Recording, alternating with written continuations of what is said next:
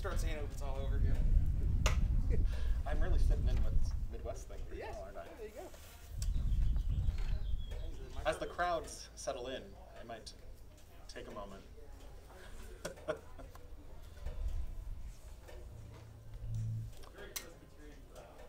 Very Presbyterian crowd indeed.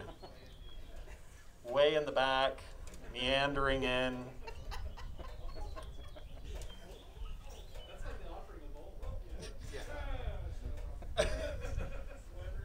Start the first song, half empty. Into the first song, most people are there. That's right. I don't even Well- see them come in. I can begin because uh, you can hear me, I am sure, I'm hoping.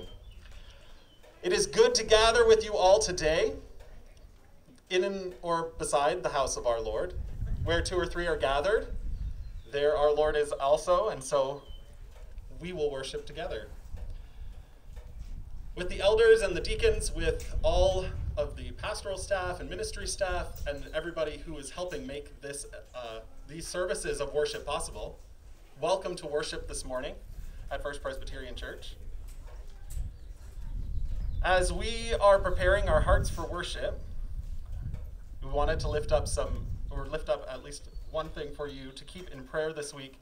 Uh, Charlie Hargrove and passed away last weekend, and his services, or the services, were this past week. And so, if you could keep Marilyn and Travis and Jordan and the rest of Charlie's family and friends in your prayers, uh, they would appreciate that, as would we.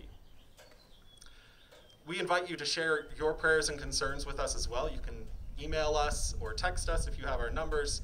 There, I believe there are forms on the back table if you wish to do so as well. Uh, the staff and, um, and members of this church will keep you in our prayers, to be sure. The life of this congregation is never stagnant nor boring. And um, as we wake up this sleeping giant that is First Presbyterian Church, we continue to identify the leaders and volunteers who serve in leadership roles for our church.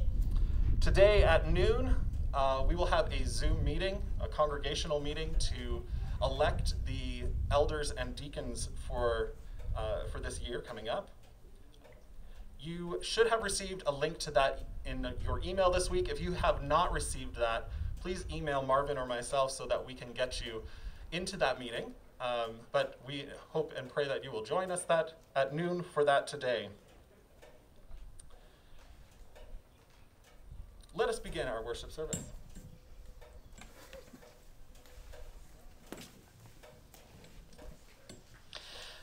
Friends, thanks for being here this morning. We do invite you to stand as you are able, and we would like to begin today as continue with a song that is a continuation of our uh, belief and our reminder that uh, while we celebrated Easter Sunday last week, that our Easter season and our celebration of the resurrection of Jesus uh, continues all year long. So join us now as we sing together, "Christ is risen." The words will be on your digital bulletin or on your printed bulletin this morning.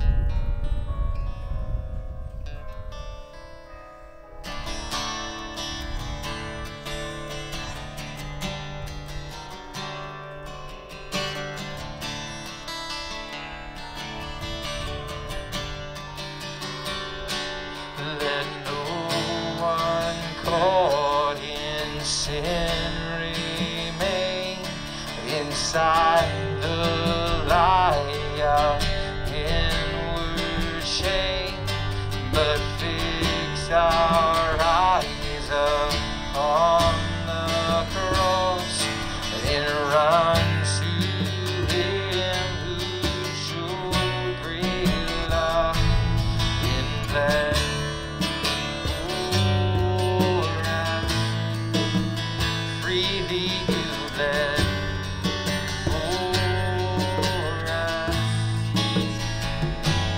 Christ is risen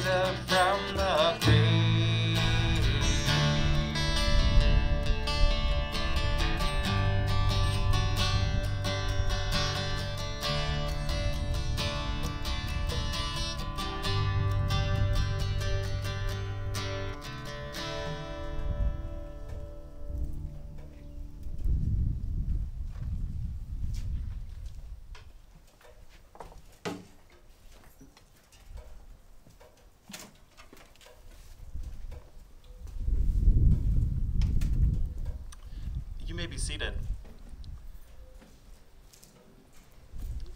Indeed, Christ is risen from the dead, but death came because of our brokenness, because of the sinful things humanity did, does, and will do. Trusting in God's mercy, but dwelling in, if just for a moment, the ways that we have fallen short of God's glory, let us come to God in a time of prayer. Please pray with me the prayer that is in your bulletin. Almighty God, in raising Jesus from the grave, you shattered the power of sin and death. We confess that we have remained captive to doubt and fear, bound by the ways that lead to death. We overlook the poor and the hungry and pass by those who mourn. We are deaf to the cries of the oppressed and indifferent to calls for peace. We despise the weak and abuse the earth you've made. Forgive us, God of mercy. Help us to trust your power to change our lives and make us new, that we may know the joy of life abundant given in Jesus Christ, the risen Lord. Amen. Friends, God hears our prayers and God knows our hearts. We are a sinful people calling out to a perfect and powerful God, but we know how this story ends. Because of God's work through the death and resurrection of Jesus, we can be sure of our forgiveness. Because he lives, we might live. He is risen. Hallelujah. Amen. Having received forgiveness, our hearts can be at peace. We are filled with peace overflowing, and so let us take a moment to share that peace with one another using socially distant uh, signs and symbols, words of peace. The peace of Christ be with you.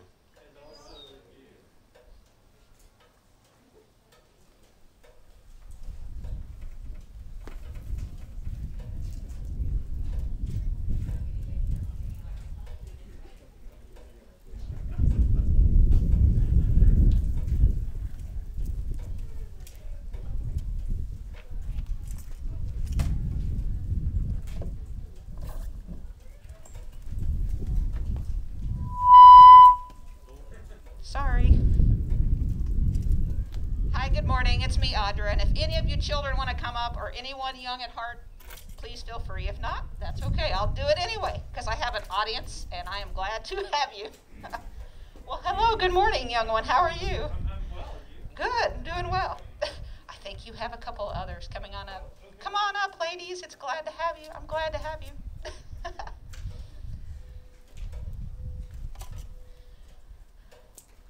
Well, my question for you and everybody else this morning is Do any of you have rock collections? Oh, I see a few hands. You, you do? Okay. Well, whenever we look at rocks, we normally think of them as being pretty common, everyday items that we have around the whole world. But if you look at them closely, they're actually very interesting. They're different shapes, sizes, and colors. And it doesn't matter if you find them on the shoreline or just in your backyard. In fact, I found this one in my flower garden. And at first I didn't think much about it, but whenever I picked it up and kind of dusted off and cleaned off the dirt, I realized that it has sparkles. Can you girls see the sparkles? Yeah. And so, doing a little more research, I believe that those sparkles are a mineral called mica. So, when we think about mica and the Bible and rocks, how do those combine? Well, I brought it to think about the light of God and shining. And so if you think about the Bible and you look at 1 John chapter 1 verse 3, it talks about God being the light of the world and with him there is no darkness. So, next time you look at a rock, don't think it's just nothing. Look closely, dust off the dirt, clean it off, and see if any of those sparkles or some layers sometimes show up in rocks are very special. Just like God, if we let him into our lives and help us help him get into the layers of our life and let him clean us off, we're full of sparkles, just like this rock, and layers. So don't think of rocks as just being common and boring because they have lots of layers and lots of sparkles, just like God wants us to have. So next time you see a rock, take a close look and see if it's special, just like you. Will you pray with me? Okay. Father God, thank you for making us strong like the rocks from the earth. Help us remember that we all have sparkles and layers if we just allow God inside and others to look closely. It's in your holy name we pray. Amen. Thank you for coming up, and you guys have a great week.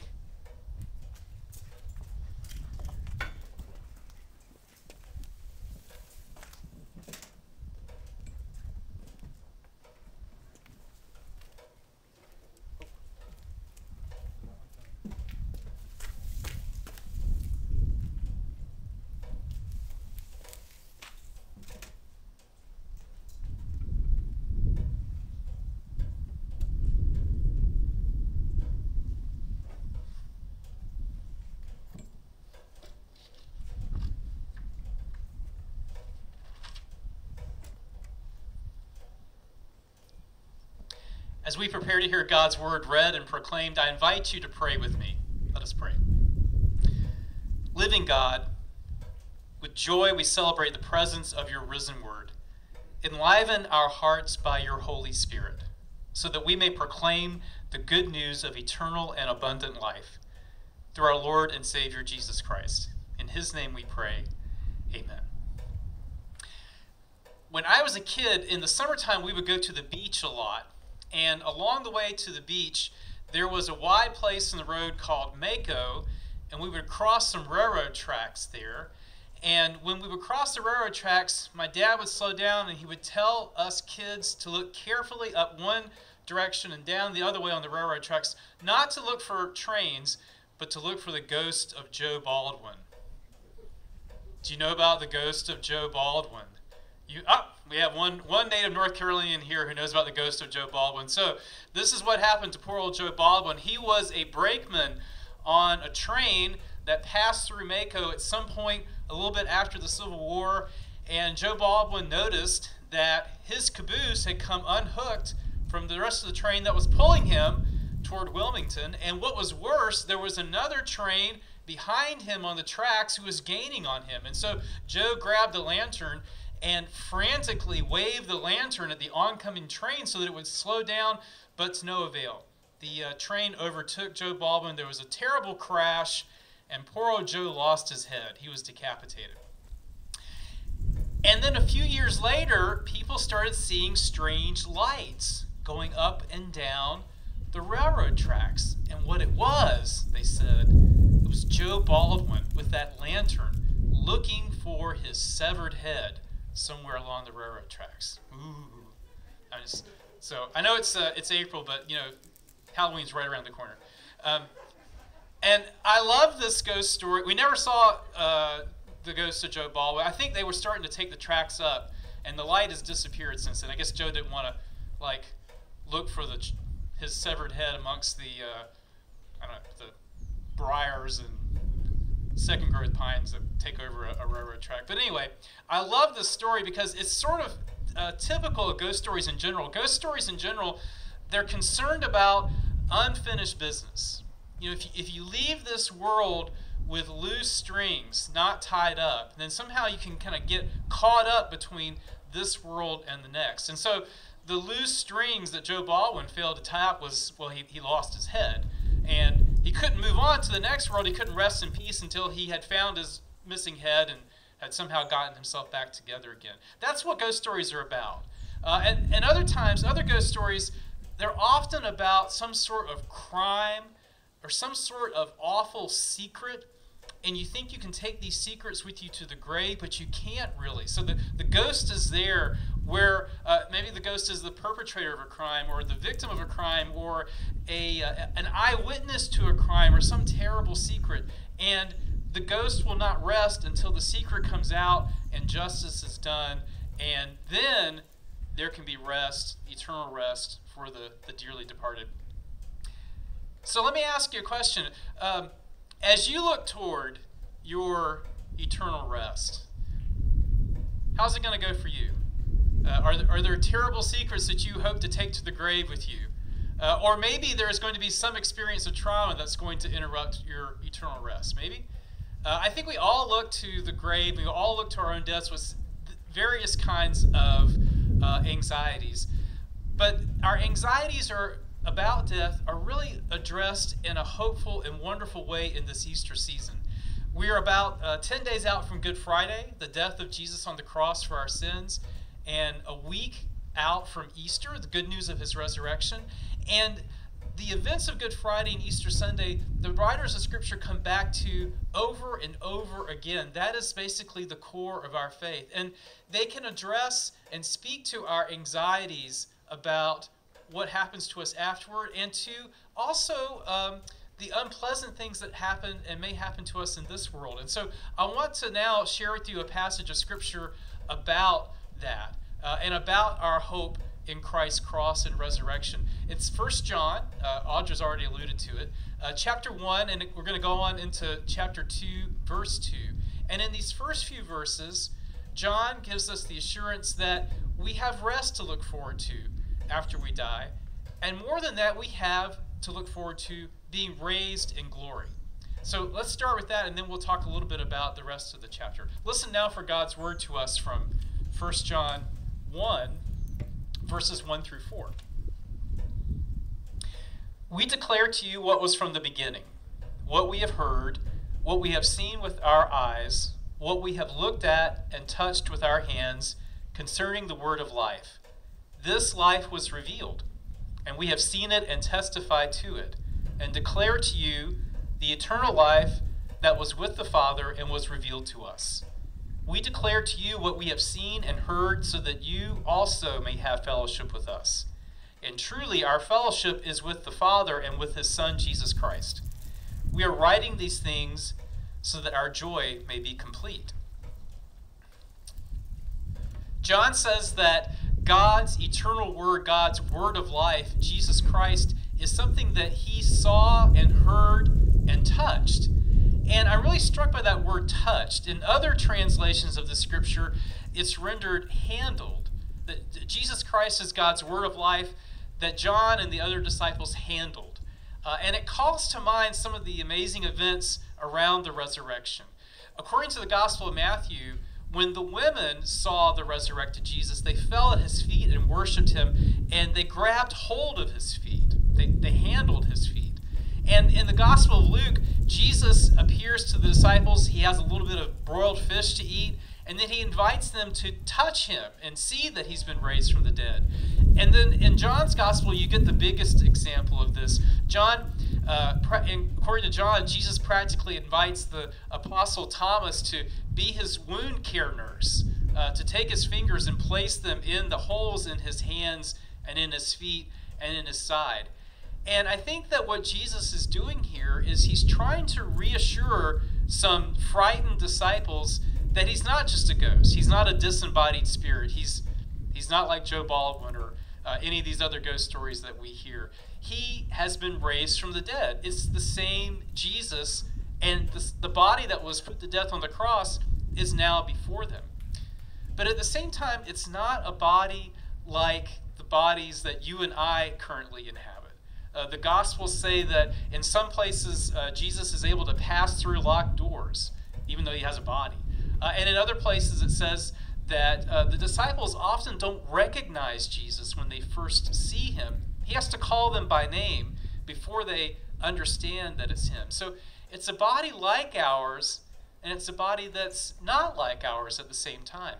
The, the biggest difference, of course, is that it's a body that can never again experience corruption or death. And Paul says, uh, the Apostle Paul, writing in another place in the New Testament, he says that it's kind of like the difference between a seed and a fully grown plant.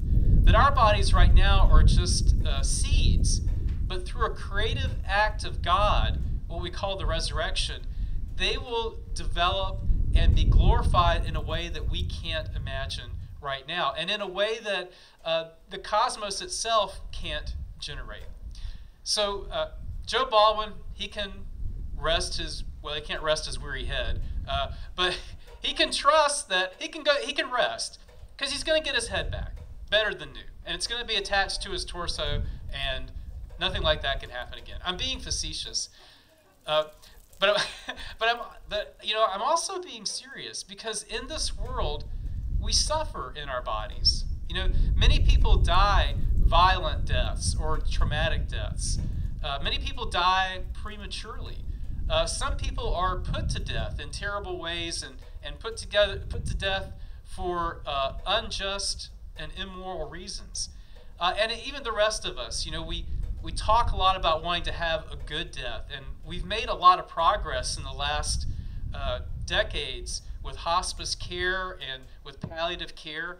Uh, but the truth is, you know, most of us are probably going to experience some sort of physical pain or discomfort as we draw close to dying. But the good news is that our bodies in which we suffer so much will be raised and glorified.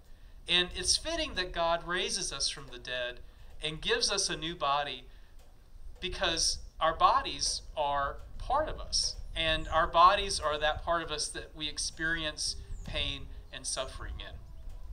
And so I think that the, the resurrection of the body, which we confess every Sunday when we say uh, the Apostles' Creed, and we'll, we'll recite that in a few moments, I think it really makes all the difference for us. And I think that it also is a kind of word of challenge, I think both to Christians and to those who are not yet on the path of discipleship. It's, it's a challenge to us Christians because if all we have to look forward to is going to heaven when we die, then what are we doing feeding hungry bodies? What are we doing housing homeless bodies? What are, what are we doing tending to sick bodies? But if we have something more to look forward to, not just that when we die we're with God, but that on the last day our bodies are going to be raised and glorified, then we can be assured that our little acts of love and kindness now matter not just today, but they matter forever. So, you know, when you uh, tend a boo boo on your child or your grandchild's knee, when you are a researcher developing a vaccine or you're a nurse injecting that vaccine into someone's arm, uh, when you are at Loaves and Fishes offering food to someone who is hungry, you are caring for bodies that are fearfully and wonderfully made by our Creator and will on the last day be restored and remade into something glorious. There's also, I think, a, a, word of challenge in the resurrection of the body to people who are not yet on the path of discipleship. I think you, you don't have to be a Christian to care about people's well being, to feed the sick, or take care of the, uh, feed the hungry, to care for the sick, uh, to take care of people who are suffering. But in the long run, if there is no resurrection of the body, then these acts of kindness merely delay the inevitable. But the resurrection of the body gives us hope that there's more to it than just delaying the inevitable. That when God raises the dead, God will vindicate us in our bodies and vindicate those little acts of kindness that we've been doing throughout our lives. So that's what Jesus says, or that's what John says that Jesus is doing for those of us who have suffered in the flesh. He also has some more words to say, and these words apply not so much to what God has done by raising Christ from the dead as to what God has done for us in the cross. And I want to share the last pa- part of the passage of Scripture with you now, picking up with verse 5. This is the message that we have heard from him and proclaimed to you that God is light, and in him there is no darkness at all. If we say that we have fellowship with him while walking in the darkness, we lie and do not do what is true. But if we walk in the light as he himself is in the light, we have fellowship with one another. And the blood of Jesus, his Son, cleanses us from all our sin. If we say that we have no sin, we deceive ourselves, and the truth is not in us. If we confess our sins, he who is faithful and just will forgive our sins and cleanse us from all unrighteousness. If we say that we have not sinned, we make him a liar and his word is not in us. My little children, I am writing these things to you so that you may not sin. But if anyone does sin, we have an advocate with the Father, Jesus Christ the righteous. And he is the atoning sacrifice for our sins, and not for ours only, but also for the sins of the whole world. You know, when we look to the great beyond, we may think that we can go there with a clear conscience. You know, I haven't killed anybody, haven't had an affair, haven't uh, knocked over a 7-Eleven and cleared out the